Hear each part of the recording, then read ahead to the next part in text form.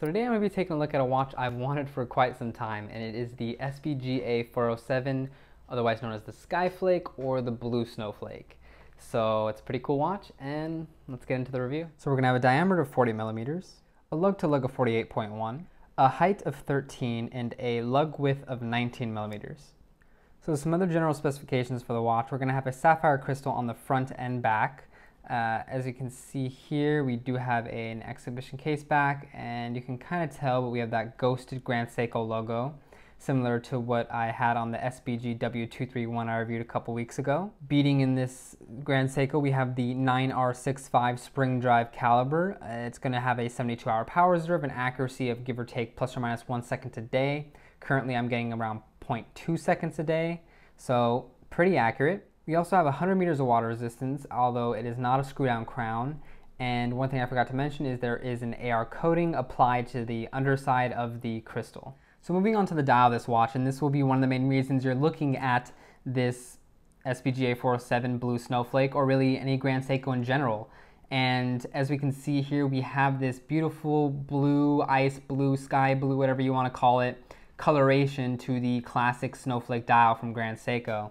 And in my personal opinion, having seen both in hand, uh, having tried both on, having owned each for a little while, I do think the blue not only is a little more interesting than the plain white dial, but it also allows the texture to be a little bit more pronounced, a little more prominent, which I do like personally. Uh, one thing I think people think is that the snowflake texture is a little more defined than it truly is. Uh, at certain angles, like off axis here, you can really just see the texturing, the graining, uh, the peaks and valleys to the dial there. But at a lot of lights, at certain angles, uh, at distances further from the wrist, it does give you a faint idea of there being a texture, but really it just kind of blends into the dial and you just get this beautiful blue coloration, which I don't think is bad at all. I just think that it is a little bit less texture than some people give it credit for being. Looking a little more of the general design of the watch, this is part of Grand Seiko's Elegance collection, so everything is going to be a little bit more dressy leaning. As we can see, we have here all these very thin uh, rectangles for the hour markers, a double baton at 12 there, and classic Grand Seiko sword style hand, sharp enough to, you know, cut whatever food you need to with it. We can see there a nice little attention to detail. We actually have a center cap stack there, or a center stack cap which is pretty nice. I mean, you don't see a lot of companies doing it either by choice or because it's kind of a step not many people pay attention to, but when it is done, it does give a very much clean design to the watch itself. As you can see, we have a very simple minutes track on the outside uh, printed in black. We have very, very minimal text on the dial, which I really do appreciate. It's just a simple Grand Seiko and spring drive. They didn't add any kind of water resistance. They didn't add any reference number or nickname for the watch, which is awesome in my opinion. But some point of contention for people will be the uh, power reserve meter here. Personally, I think overall it just ends up blending into the dial and the overall design. But I guess how some people would say it ruins the symmetry of the watch. But I think once getting it in person and on wrist, it just kind of becomes part of what makes it a Grand Seiko. And looking at the power reserve just in general, it is beautifully detailed. It has a nice fine kind of radial pattern in the inner portion here and a more defined like deep grained sunburst on the outside. There's even metal applied indices there. Even this hour, well not even hour hand, but power reserve hand has a cap to it. So you can just really see anywhere attention to detail could have been paid, it was paid on this watch. And I just do really appreciate that. I think it all comes together to create a beautiful package. So zooming in here with the watch, and you can just really see how detailed and interesting that dial texture really is. There's just so much dimensionality to it, just depending on how the light hits it, what angle you're looking at it at, um, what kind of colors just come out to play depending on the lighting situation. As you can see, once the lighting hits that area more, these kind of brighter white tones come out, or it's like silverish white tones. So it really is a dynamic dial that is going to be kind of different under different lighting situations, which definitely keeps your interest. Overall, you can just see how well the small things are done. The Grand Seiko text there, perfectly laid into the dial. Um, I don't know if it's printed or really how it's put on there. It looks almost like it's uh, printed or painted on in a way. uh, obviously not applied like that Grand Seiko logo is there, but there is no imperfection. It, it is perfectly well done. You can see the perfect mirror polish applied to every one of those uh, markers there. And one of my favorite parts is just how you can see the seconds hand reflected in just about everything. You can see it moving in the polished surfaces of the hands there um, once it gets a little bit better of an angle. Taking a closer look at the power reserve, and again, you can just see how detailed that is for something that's just so small, so kind of out of the regular point of view. It has that beautiful graining, radial graining coming out from the base of the hand there. Beautiful kind of, I believe, metal applied kind of divider there between the inner and outer portion of the hand. And at this magnification, you can see better just how rich and vibrant and blue that actual seconds hand is. Obviously, it depends on the light, but it, the way it just plays going from a crazy black to this really bright and just shiny blue. I mean, heat tempered steel is just something different. One last note I'd like to make is just how beautifully done this kind of polish on the hands is. It is so mirror polished in every aspect that at some angles it looks like it almost is brushed in the areas. It will reflect so perfectly. You should be able to see the underside of the seconds hand coming gliding along, and that's just a ridiculous amount of mirror polish happening. Lovely. So moving on to the case of the watch, it is simplicity done the Grand Seiko way. It is all polished, but it is all Zaratsu polished, so you have a nice perfect mirror finishing everywhere. Uh, as you can see with the lugs, there's this beautiful kind of chamfer and then actual cut in, which almost thins out the lugs visually and I mean just realistically. And the way that the light plays, a lot of the times when I'll be wearing the watch, it'll almost look like the tops of the lugs have a brushed finishing to them, or some other type of finishing, just because it goes very dark when the chamfer goes very, very bright and shiny. So it really makes it look like two different finishings. They interact really awesomely together. Here, although the watch is around 13 millimeters thick, I think it wears its thickness really, really well. Overall, the mid case isn't too chunky. The crystal has a slight dome or really a slight box to it, so that adds to the height a little bit. The lugs actually have a pretty nice curve down as well as just being a relatively short lug to lug distance. So overall, I think it wears pretty well on the wrist. One thing I'll note is we do have drilled lug holes here, which I love to see on pretty much any watch. It just makes strap changing a lot easier. And I don't really think it takes away from the looks of the watch at all. If it'll focus there, you can see we have a Grand Seiko signed crown. I think the crown is a pretty good size. It isn't too large by any means. Uh, sometimes I guess if you're just dedicatedly turning the crown, it isn't the most easy to grip. Uh, it could be knurled more, but overall it's never had a problem winding it. Again, you also have an automatic rotor, so that's not too much of an issue. Moving on to the case back, we have a very classic just Grand Seiko striping, some gold lettering there, uh, a nice blue emblazoned Grand Seiko on the rotor there, which I do really like. I mean, the Grand Seiko blue is a really nice shade, and I love any incorporation of it. As you can see there, the ghosted Grand Seiko lion logo there, which I think is the perfect execution of a case back logo. And a nice little cutout there to show the beating of that continuous glide wheel. Really, really nice. And one other point to note, eh, and something I haven't really seen a lot of reviewers talk about, is the actual movement architecture of this spring drive is actually meant to be reminiscent of Mount Iwate. So we actually have the mountain ridge right here in this little cutout of the bridge, and this little jewel right here is kind of meant to represent the rising mountain uh, going over the peak of Mount Iwate. And if we move the rotor here, there's actually two cutouts here and here, which actually mimic the exact positions of lakes that fall under Mount Iwate. So it's just all these little details that otherwise you wouldn't know and otherwise, you know, the normal person wouldn't even care about. But Grand Seiko has taken the extra innovation, the extra time, and the extra development to make it not only beautiful, but for it to hold a story. And then really quickly, we have a very dark blue alligator strap with dark blue matching stitching. This is the stock Grand Seiko strap unfortunately in 19 millimeters. It does come with a nice deployant buckle, which you can obviously use on any other watches.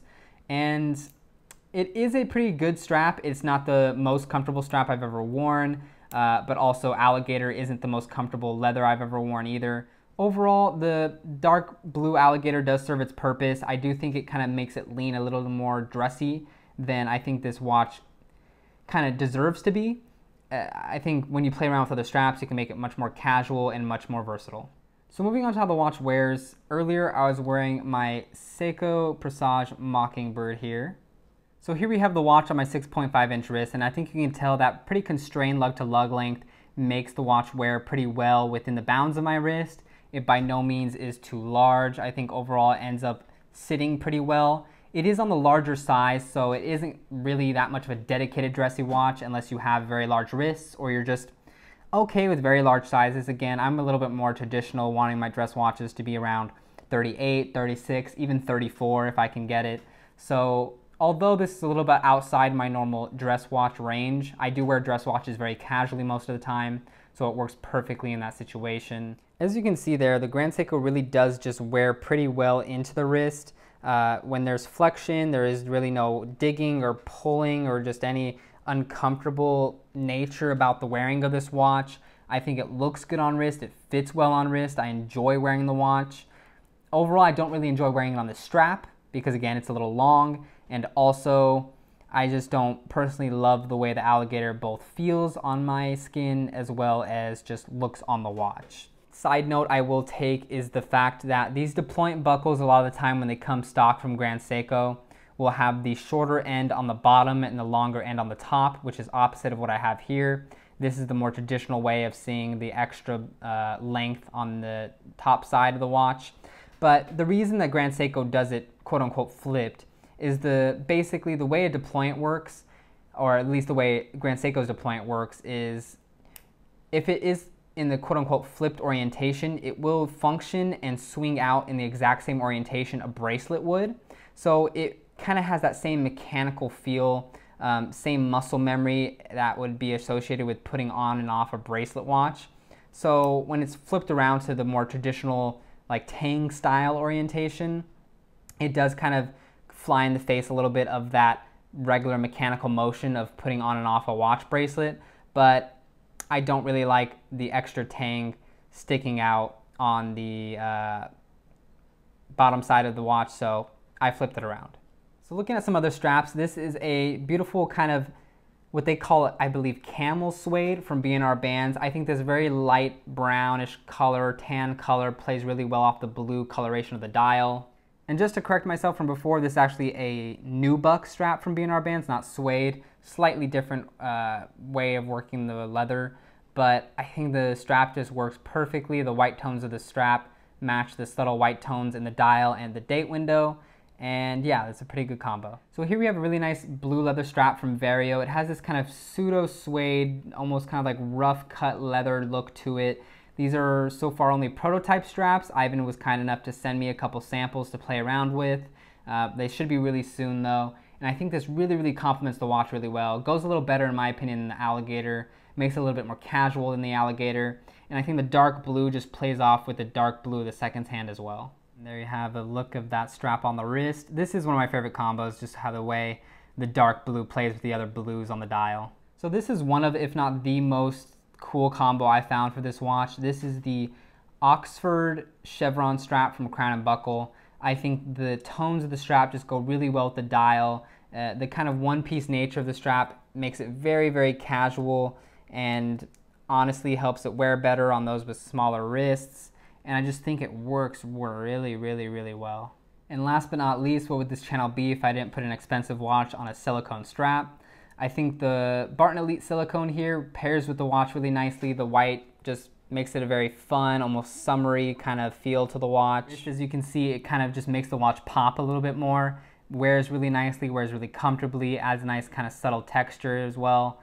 And yeah, I just really like the look of it. So going on to pros and cons, and for me, one of the biggest pros for this watch is basically the dial and kind of like bouncing off the dial, the originality of the watch in general. And for me, the snowflake texture is awesome.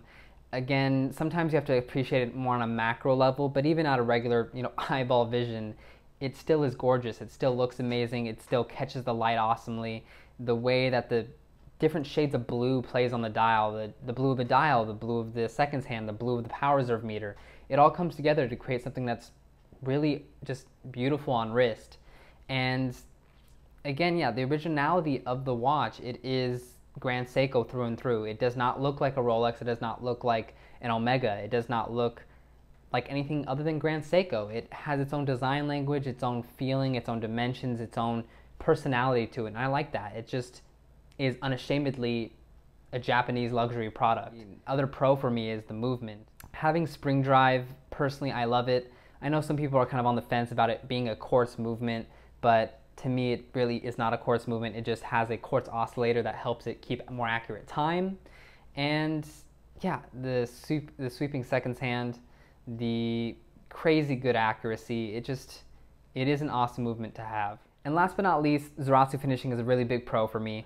Again, like I said in my last Grand Seiko video, if you don't get Zaratsu, if you've seen Grand Seiko in person and it didn't blow you away, that's completely fine. It may not be something that you care about, or it may not be something that stood out that much to you. But in my daily day usage, um, in comparing it to my other watches in my collection, there is a big difference in the way Grand Seiko shines, in the way the metal feels, and the way it reflects light and grabs color, and just that's just the way it looks. It's it is awesome to just look at and get lost in, and walk under a shaded tree and just see how it captures all these reflections. So yeah, Zaratsu is a really big plus for me. So moving on to cons of this watch, uh, one of the nitpicky points for me would be sizing. At 40 millimeters, it is a great crowd pleaser size, but for me, again, this is a dressier styling watch. I would have loved to see it at 38, maybe even 37. It would have fit amazingly. It could have even more leaned into its dressy nature. But again, Seiko cases wear pretty well. This watch does wear pretty well, and I don't think it's oversized at 40 millimeters. Another kind of point that's not necessarily a con for me, but I can see it being a con for other people, is how subtle the texture is. Uh, like I said, compared to the regular snowflake, I think the blue is brings out the texture a little bit more. But even still, it is not something like a tapisserie dial from AP or something that's just like very in your face. You can see the texture. You can see very clearly the work that went into it in a way. And yes, at certain angles and certain lightings, you can see the texture, but again, at those far away angles, you may not really be able to tell, and that may be a downside for some people. And really, my only other con is the fact that it has 19 millimeter lugs. I don't really understand why so many luxury companies go for like 19 and 21 millimeters. Is it because they just don't want people putting aftermarket straps on? Is it just because they're mean? Like I don't, I don't understand. Uh, it's it's nice because we're getting a lot of manufacturers doing 19 millimeter lugs. Vario, like I showed you, is coming out with a whole line of like nubuck slash Swedish looking straps. So those will be in 19. That'll fit 19 millimeter watches really well. But again, the same breadth of selection is not there that 20 millimeter straps have, and it'd be nice to see a watch at, from a luxury brand at 20 millimeters. So summing up my thoughts on the watch, and again, as I said in the beginning, this is a watch I've wanted for a very long time. Basically, the day it came out, I was like, I need this watch. And finally, I have it.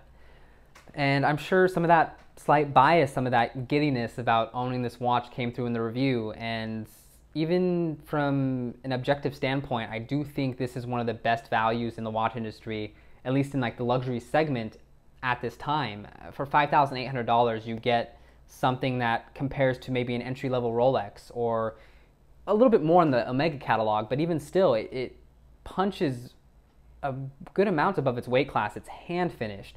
It has a gorgeous, gorgeous texture dial. It has one of the most advanced movements, if we're not talking quartz, even though it's kind of a quartz, but you know, one of the most advanced movements out there for a watch. Unparalleled accuracy, three days of power reserve. It is an awesome watch. And if you've been considering a Grand Seiko, if you've been considering this Grand Seiko, I don't think you'll be disappointed at all. It is awesome to own. It is a piece of art for your wrist. And at you know this price point, we're not buying watches to tell the time. We're buying watches because we love them, because they look amazing, because they tell a beautiful story and they connect with us, and this watch has a lot of potential to do that. So, hope you got something from the video. Thank you for watching. I'll see you in another one.